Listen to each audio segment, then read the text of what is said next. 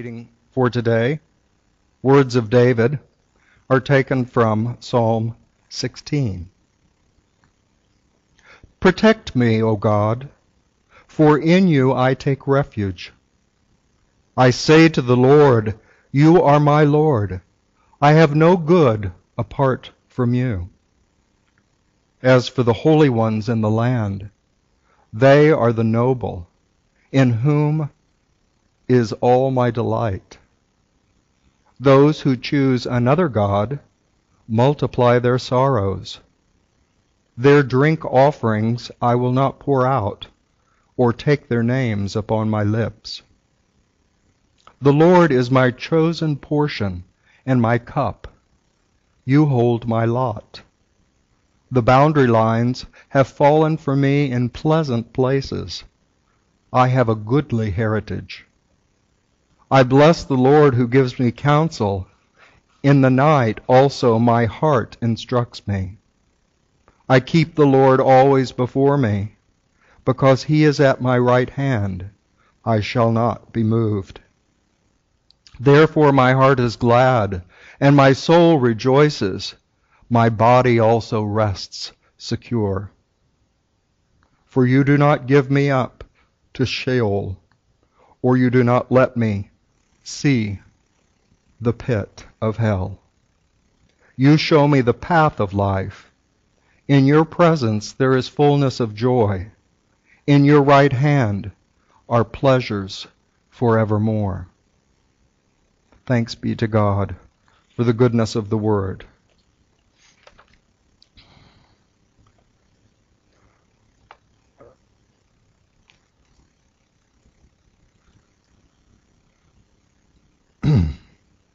Well, this morning, for an unusual beginning to my lesson, um, I ask you to support me with energy and hold me up as I'm going through my fourth week now of whatever this respiratory thing is. Uh, the doctor has not been given, has not been able to give me an answer or find any easy uh, treatment. So we all have our challenges from time to time, and mine is maintaining the energy to stand here this morning. So um, it's a time in humility that I ask for your support. Our lesson today is what is practical Christianity? Our founders, Charles and Myrtle Fillmore, developed this term, practical Christianity, early in the Unity movement. They loved playing with the term.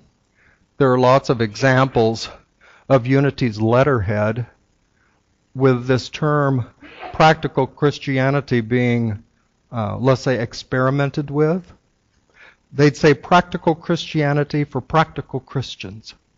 Then they'd change it to practical Christianity for practicing Christians. Or what is practical about Christianity? They would play with this term, but it wasn't just a word game they were, in the early years of unity, trying to capture what you might call the unity idea. What is the essence that unity is all about? What was unity offering early in its meetings and activities, its prayer work? Um, what was it offering to the community? What was it offering to the world? Now, Christianity is known, experienced, practiced, described in many ways. We know traditionally in the last 2,000 years that all Christian churches, in one way or another, express the sacraments, the holy activity of communion, baptism, the rite of marriage, the rite of holy orders, the rite of healing the sick, the rite of confession. and I left out confirmation. Anyway, seven sacraments in the Christian tradition that are seen to have blessing power. Then we have Christian theology. That is, the idea what is Christianity all about? Again, the church in its early centuries struggled mightily, and it struggled with such fierceness that there were times that people lost their lives, including bishops that did not teach what other bishops thought was the correct truth. The orthodox, that's what that word means, the right thinking, the correct thinking. And so Christianity as theology became an, a very important part of its history describing the truth and the nature of Jesus Christ, the relationship of the human being to its creator, and through an idea of salvation or saving for the individual through Jesus Christ. So we could talk about Christianity as a theology, um, a religious idea and dwell and meditate upon that. But in the late 19th century, there was a movement which became known as the New Thought movement, and it included the work that developed as the Unity movement, also divine science, religious science, homes for truth. Um, it had a relationship to Christian science, although uh, the Christian Science Church always kept its distance from New Thought and uh, felt that it was not a part of that movement, but others often brought Christian Science into that movement. But in the 19th century, there was suddenly this new thought. What did Jesus do?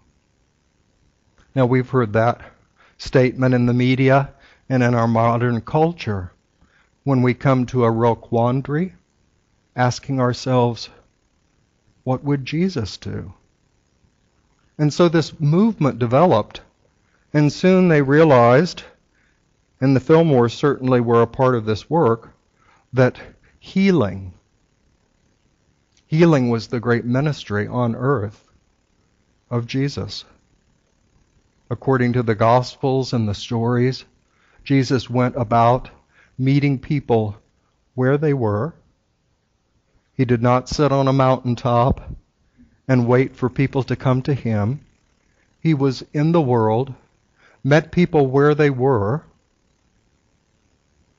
and then supported them in their own awakening or realizing the goodness of their God. And in that they found healing. They were restored. So unity placed a great emphasis upon the power of prayer in this healing process, even recognizing the presence of Jesus Christ in the prayer process, leading to healing. And if you know the early work of unity, there was a great deal of stories about healing. People constantly writing into Unity magazine with their testimony of the healing that they had experienced in praying with unity and in u- using the unity principles in their life in a practical, practical way, in a way that made a difference. And so many people have come to unity over the years when, and this is not a criticism, because there is great divine wisdom in the theology of Christianity.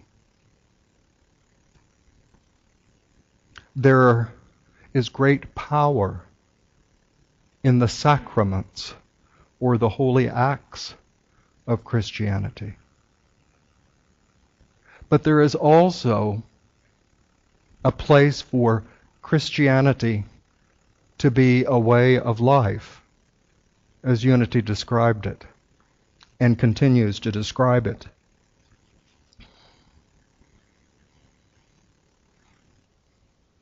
I want to share with you a brief reading that speaks to this awakening process. It comes from a book by Mark Nepo, The Book of Awakening, and this book has become quite popular in unity circles over the last, oh, I'd say five years or so. It is essential to realize and embrace the paradox that while no one can go through the journey, excuse me, while no one can go through your journey for you, you are not alone. Everyone is on the same journey. Everyone shares the same pains, the same confusions, the same fears, which, if put out between us, lose their sharp edges and cut us less. A very touching story from the Talmud captures this soft paradox of how we all journey together. A rabbi asks his students, How do you know the first moment of dawn has arrived? How do you know the first moment of dawn has arrived? After a great silence, one student pipes up, when you can tell the difference between a sheep and a dog. The rabbi shakes his head, no. Another offers, when you can tell the difference between a fig tree and an olive tree. Again, the rabbi shakes his head, no. There are no other answers. The rabbi circles their silence and walks among the students. Then he says, You know the first moment of dawn has arrived when you look into the eyes of another human being and see yourself.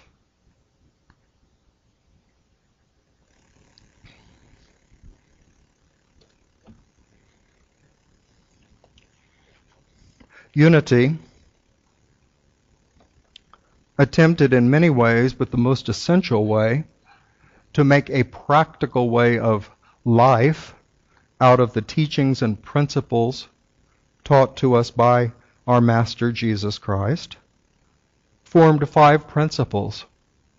And these principles of unity are taught and proclaimed from our world headquarters in Lee's Summit as the essential teaching even to this very day.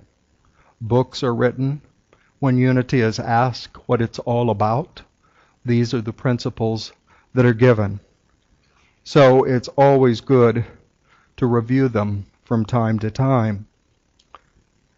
One is stated in our statement of faith, which we have at the beginning of the service now.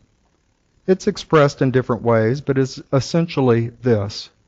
There is one presence and one power in our lives and in our world.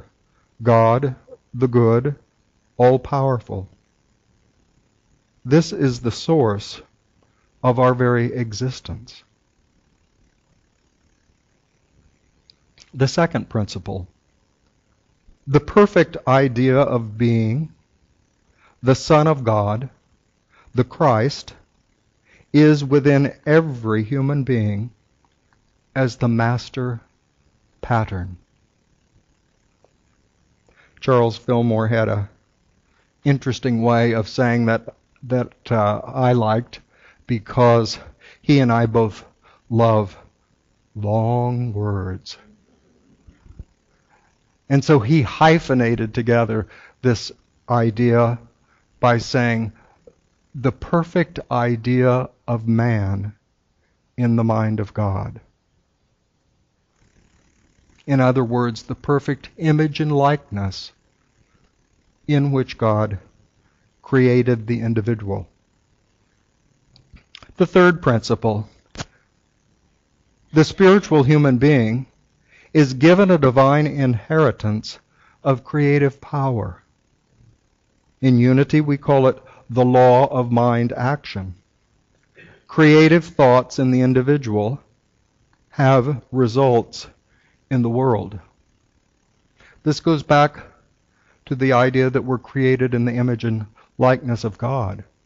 God is creative, and we as individuals are creative in this world. Through our thoughts, our feelings, and our actions, we have a creative result in the world. Perhaps a more popular way to express it is to say each one of us makes a difference. And so this spiritual path is to become ever more aware of the difference we make in our world. The fourth principle the individual develops in soul and spiritual awareness through consistent practice of prayer, meditation, silence. Whatever terms or techniques we use, it is essential to rest our attention in God as our source and power to create good.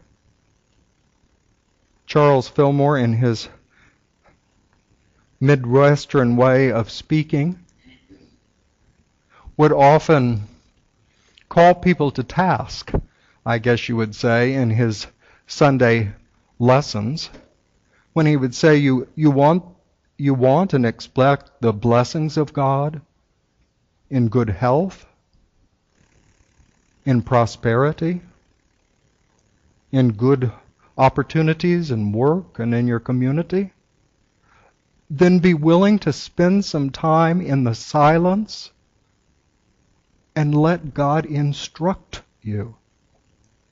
Let God speak to you, give you creative, helpful direction in your life. On another time, on another occasion, he expressed a similar idea that I've been working with this week myself, and that is, and this shocked many people in his auditorium, when he would say, when you spend more time thinking about your divine life than the illness you're experience, experiencing, you'll be healed.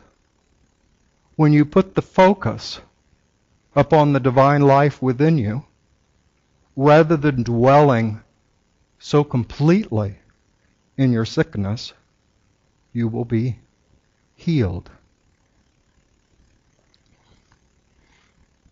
And our fifth principle, some people express it in a, um, oh, what would you say? a popular phrase by saying it's not enough to talk your talk, you have to walk your talk. Another way to put it more formally, it's not enough to pray and think on these principles, we must express them in our daily actions, in how we act in the world and how we treat others. What we do and how we relate to others makes a difference. Charles and Myrtle Fillmore, since they based unity, or I should say they expressed unity, with the idea of the modern thought of science, organized knowledge, um, knowledge that was dependable. They expressed this fifth statement as you must demonstrate, like a scientific experiment. You must demonstrate the truth you know. And of course, this reminds us of Jesus' statement You will know the truth, and the very truth you know will set you free. It's not enough to dwell on these ideas inwardly we have to demonstrate and put them into practice outwardly in our world. Now, we each have our individual challenges to meet or our opportunities. This does not have to be a negative discussion. We have opportunities to meet through which we grow in our understanding, in our compassion, in our skills in life, we can say. And at this time, and I'm not so uh, I'm not so sure that it's different from any other time through history. That the human family worldwide is struggling with those who choose to take the divine creative powers and use them destructively to cause harm. And we cannot ignore that and be a helpful presence to our world. But I couldn't help but recalling those famous words you all know from Franklin Roosevelt when he cautioned people during the Depression, a time of great difficulty in America. And he said, The only thing we have to fear is fear itself. The only thing we have to fear is fear itself. And I speak, think this speaks dramatically to this day and age when there is a great deal of talk about terrorism and about the things that are happening around the world. And as I said, it's important. We accomplish nothing, we do no good, we're no help to the world if we put our heads in the sand and say, oh, no, no, no, I never watch the news. I don't want to know about anything that's going on outside Sunrise Beach. No, it is important that we are aware because we are part of the human family. That awakening, according to Mark Nepo, that dawning for us of a new day comes when we look in the eyes of another human being and see ourselves. And so it's a great responsibility and challenge and a possibility of fear when we do not turn our attention away to violence and harm that's going on in the world and recognizing that those individuals are a part of us. We are a part of them. Because if we allow the terror or the fear to develop, it is taking our attention away from our truth and centering us completely in fear to the point that we can become ultimately unable to do anything for ourselves, for anyone else, unable to make the world a better place.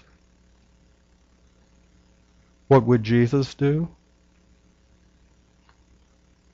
Well, we know from the record of the Gospels when he went into dreadful places, communities where they confined the lepers, because they didn't want those with leprosy right in the city among the people. So they were shunned and put in a faraway place by themselves. Almost, one could call it a hell of leprosy. But Jesus went to meet them because he was not afraid. He was there to see that connection with every human being in whose eyes he looked. And so we may wonder in this time what, did, what is it that I, as an individual, can do? What is it that I as an individual can do? Well, as we begin everything in unity with prayer, I can make sure that I'm finding a balance in my life between my inner prayer work, however you do that, and the attention you give to the bad news of the world so that you maintain your strength inwardly. Then, too, you can use the power of prayer. For those that you do not know by name, those perhaps quite far away from us here in Sunrise Beach, and affirm the presence of Spirit in their life, to affirm the wonderful courage and compassion and goodwill of their own communities to meet these times of catastrophe or disaster. And two, in prayer, you can also ask, What is mine to do in the world? And your answer will be unique for you. You will find your own answer in what you choose to do in your community, what you choose to do in your political life, what candidates, what programs, what ideas you choose to support. I cannot answer that for you. You can only find that answer within yourself. So I wanted to close with a time of meditation, and this is a brief prayer that has been around unity a long time, but it's a simple visual image that you can hold in a time of prayer and silence. It's given the name the broom prayer. The broom prayer. And there's one thing I want you to notice uh, as I speak it. It is first a statement of cleansing, sweeping away. And then comes the affirmation of gathering. And there's one important distinction. I was taught this by a much older teacher in unity. When we are doing the sweeping away, we never include in that statement people. We never sweep people away as if trash. But in the corresponding gathering of the prayer, yes, we can gather people around us in this process, but we never discard them. So I invite you to close your eyes.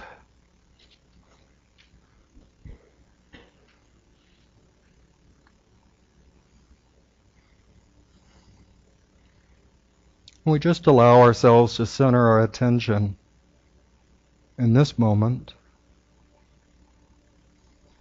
All is safe and secure in this sanctuary. We are very blessed to have this spiritual family in which we can come together in prayer and know that each one here holds one another in love and in respect.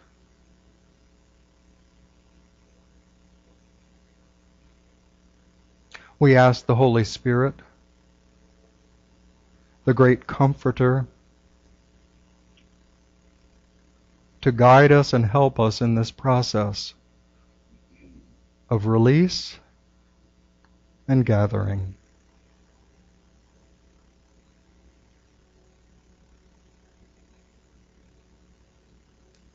So I imagine taking up a broom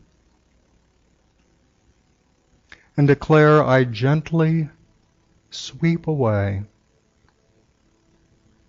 all thoughts, feelings, and actions in my life that are not in full harmony with the Christ standard.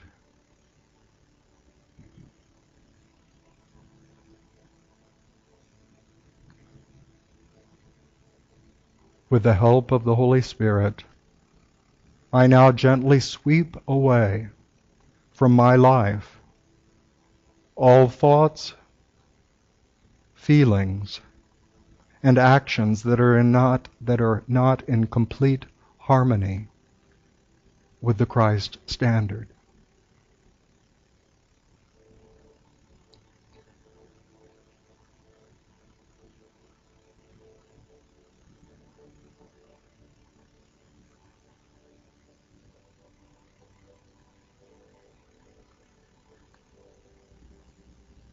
I give thanks for the activity of Holy Spirit, which helps me accomplish this release,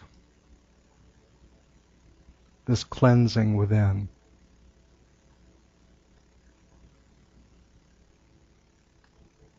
And now I ask the Holy Spirit to empower me in this affirmation. I now gather round me all thoughts, feelings, actions, and people who are in harmony with the Christ standard.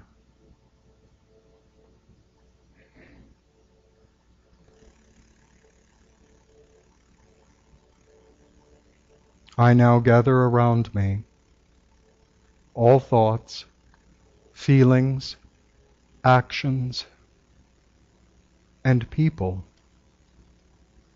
who are in complete harmony with the Christ standard, that image and likeness in which God has created us.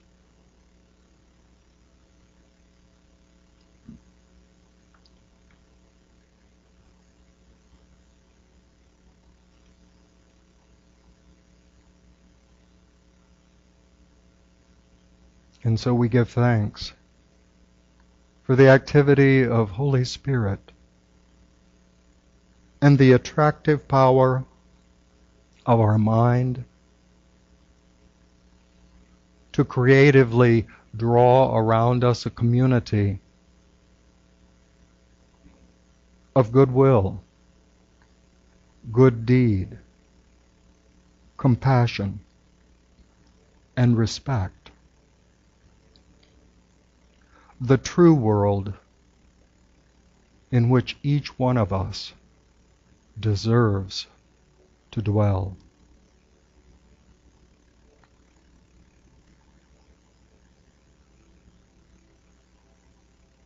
Gently, we allow our attention to once again become aware of this outer sanctuary and the friends in this room.